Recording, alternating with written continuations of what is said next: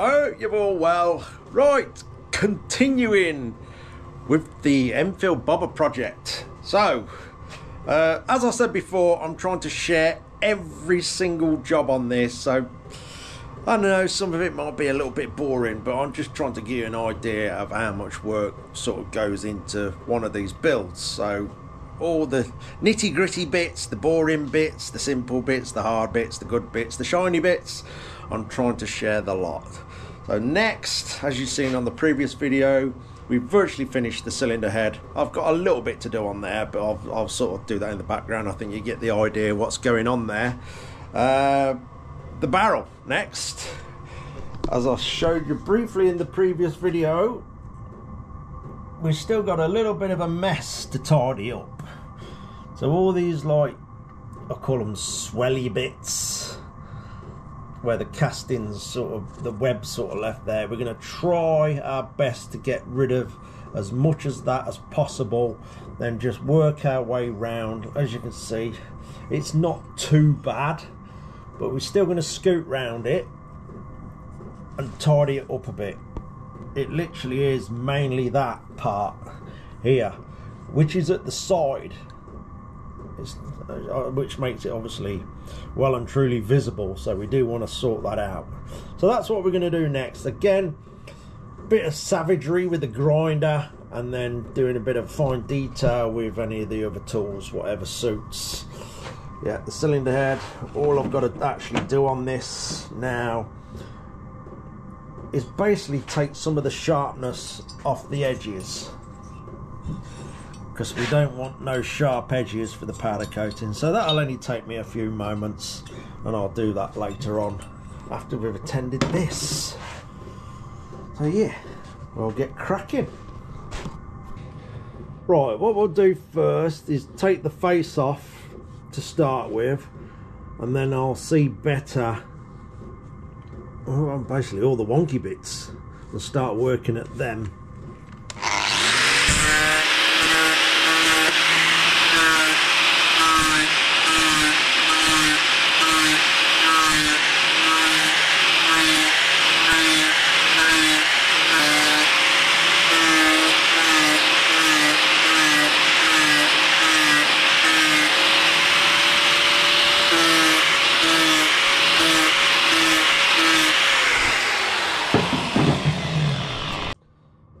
Okay, we can see a little bit better now.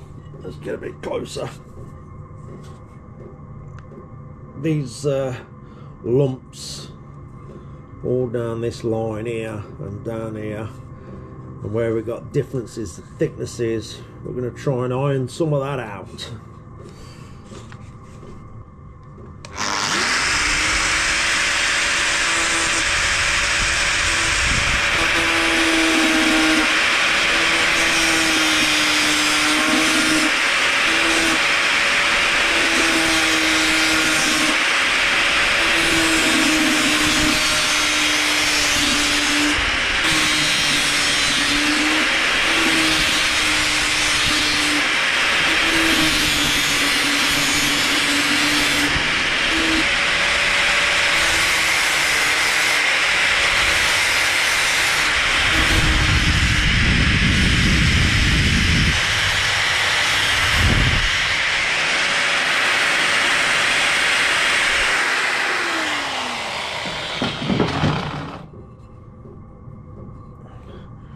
Right, that's a little bit better. I need to get something now to go in between them and tidy the webbing up in there.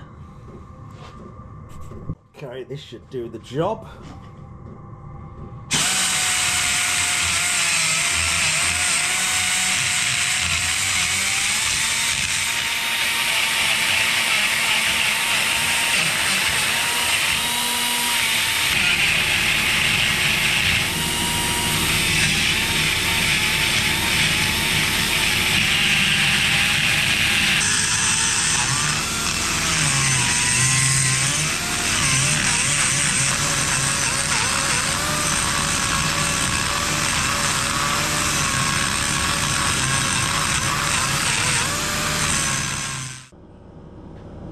Just going to rough round all the uh, all round the fins now. Now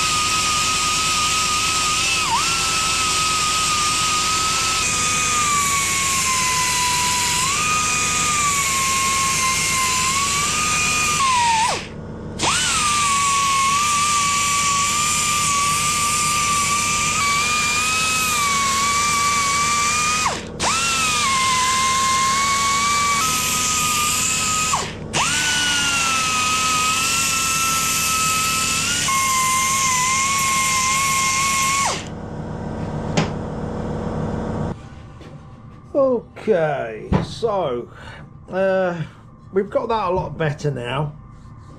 Like I say, it's, it's difficult to know how it's going to look on camera. Um, like say, it's only so far I can push this without losing too much material. All I'm doing is trying to do our best to, to improve it as much as possible. So on this, we got some radiuses in there, so I'm just running the old drum sander down there just to tidy them up a little bit.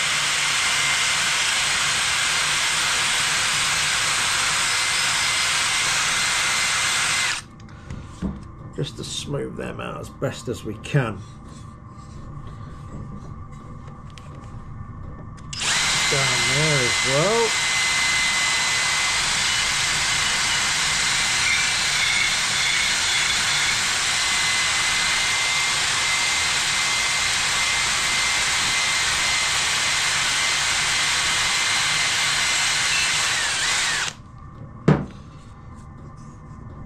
A little bit better. all right let's put these two bits together, see what they look like.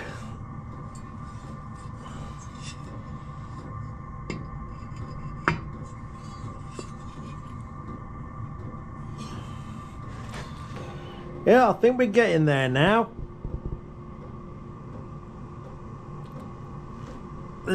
I'll probably spot a few more bits here and there.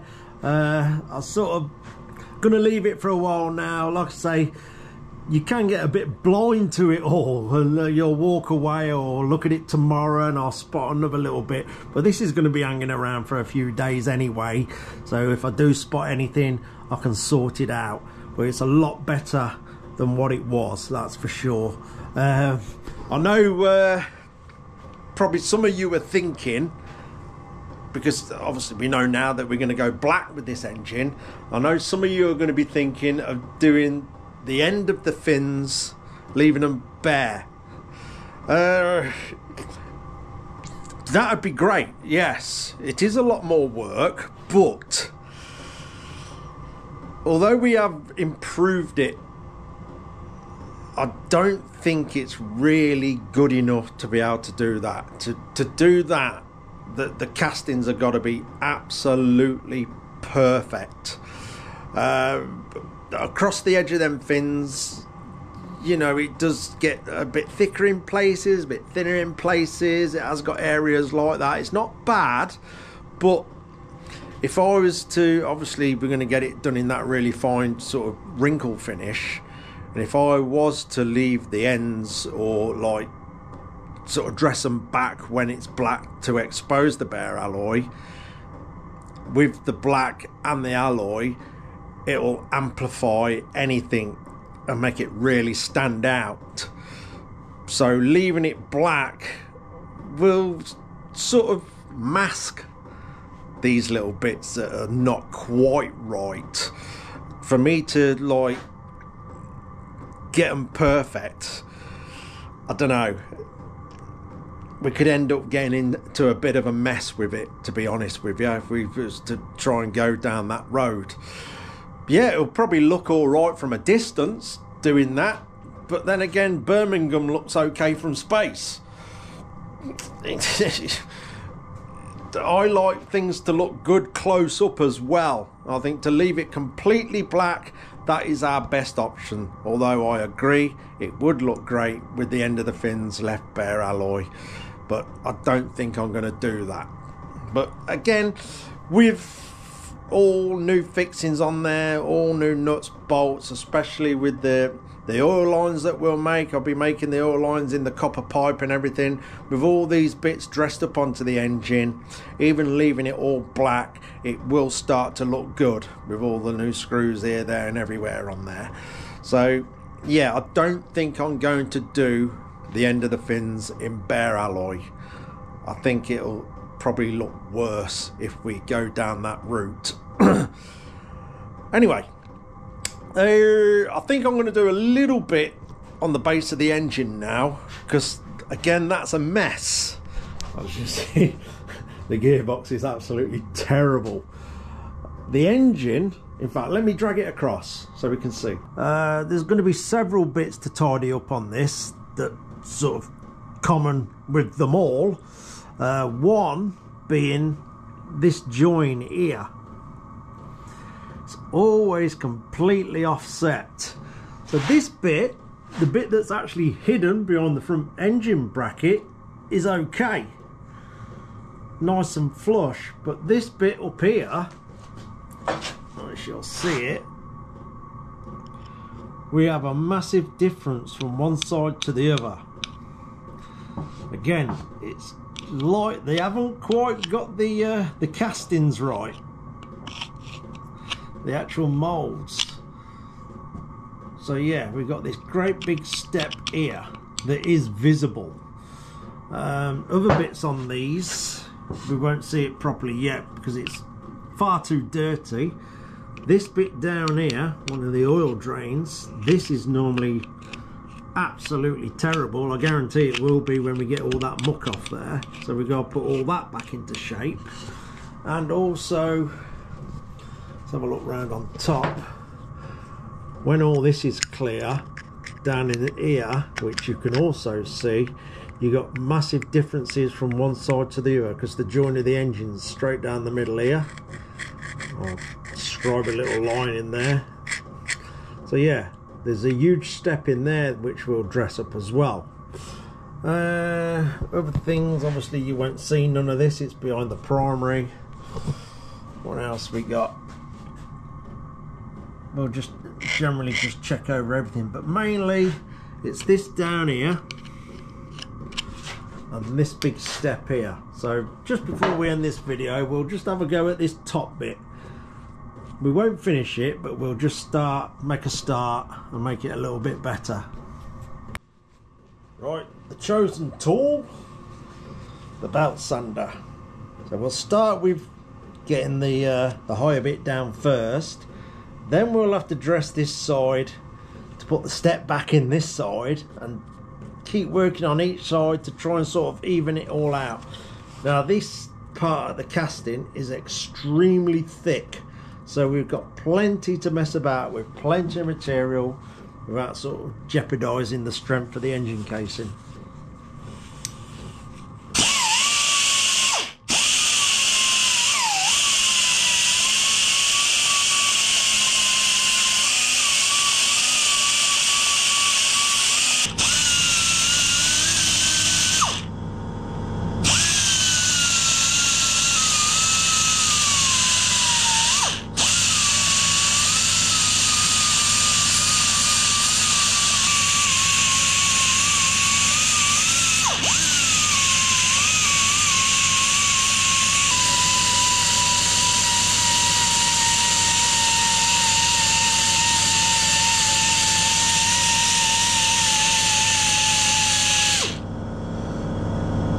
think we need a new uh, belt on there.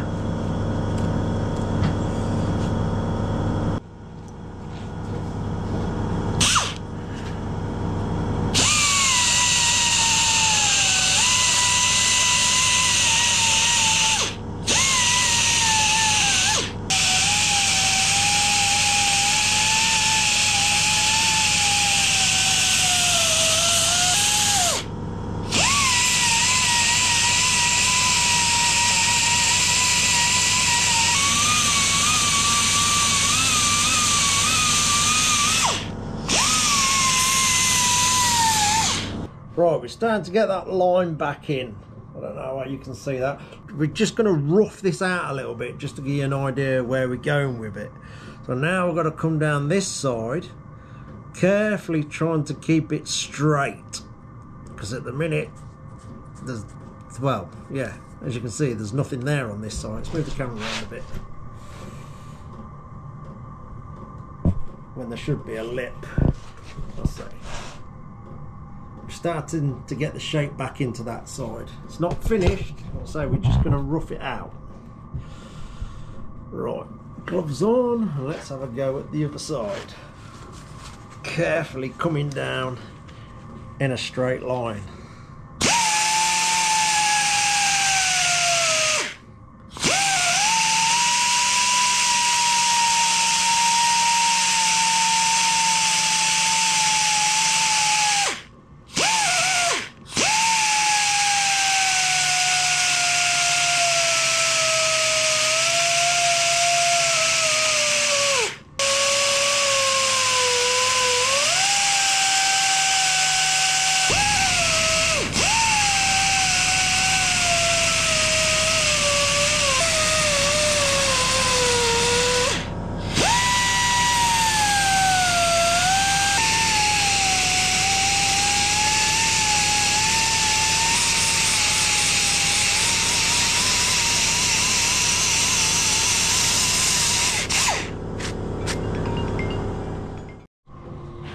Okay, it's starting to get this side sorted now. I say it's all a bit rough. Oh. See you, Blue. You'll probably notice that you ain't seen Blue as much. As that weather gets colder, he doesn't come up the shed as much, and I can't blame him. I've actually got to finish the insulation off as well, but it's getting there getting there. I've got to get all this end done, look, and then down that wall, then down that side. And hopefully be a bit warmer in here. But uh, it's getting better. Anyway, back to the engine. So we're getting this line in. Uh, I'll say it look a bit rough. We've also got this big dip here. Again, it's not damage. That's that's how it is. But as you can see, we have got plenty of material to mess about with to lose that. So it's getting late now, so I'm probably just going to do a little bit of dressing up on this and then we'll call it a day. Get the gloves on.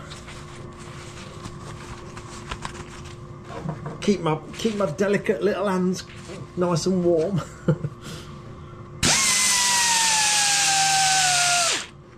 So yeah, we're going to keep taking this down. We have, like I say, we've got plenty of material to mess with till we lose that because that'll just look terrible if we don't.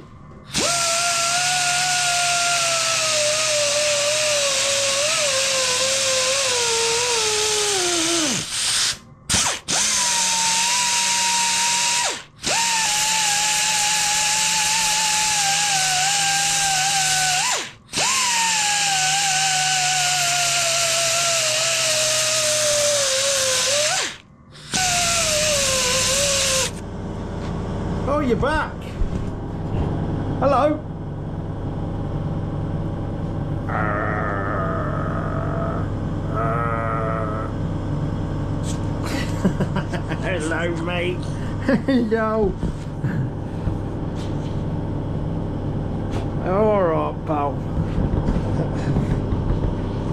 He's a good boy. Bless you. Bless you. Come on then, let me finish this. Right, we've nearly got rid of that. It's nearly gone.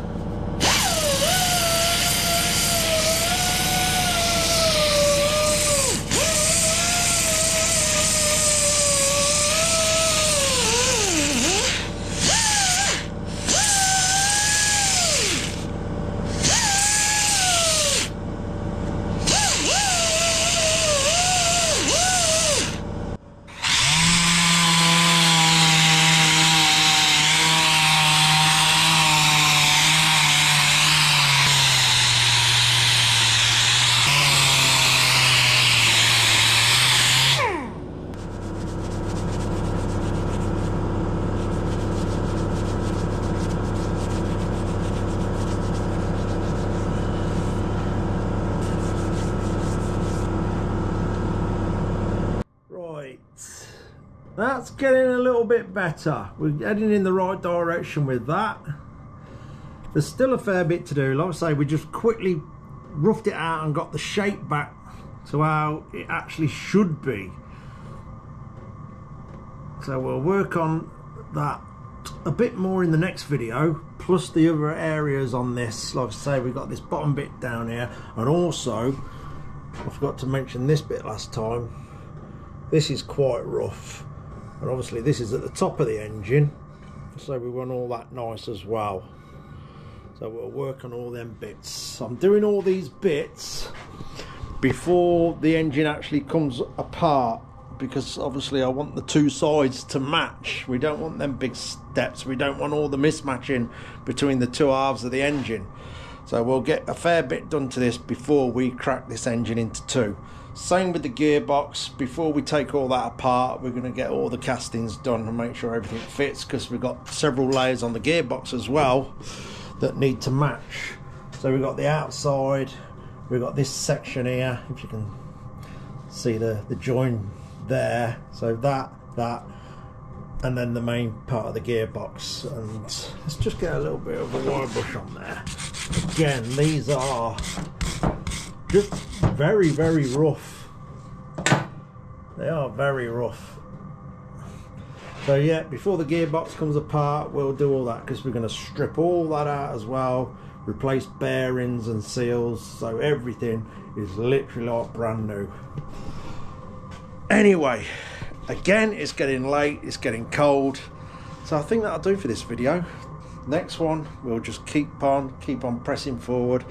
And yeah, each bit is another step further to being finished. Although we're a bit of a way off, but we're going to keep ploughing on anyway. Thanks everyone again for all the support massive thank you to all the patrons you guys are very very very much appreciated because without the kindness of you guys this would be next to impossible. So i appreciate you guys immensely and massive thank you to all the guys and girls that have bought special stickers. That's obviously helping this bike come together. Anyway that'll do. See you very very soon continuing with this engine. Cheers for watching, guys. Take care.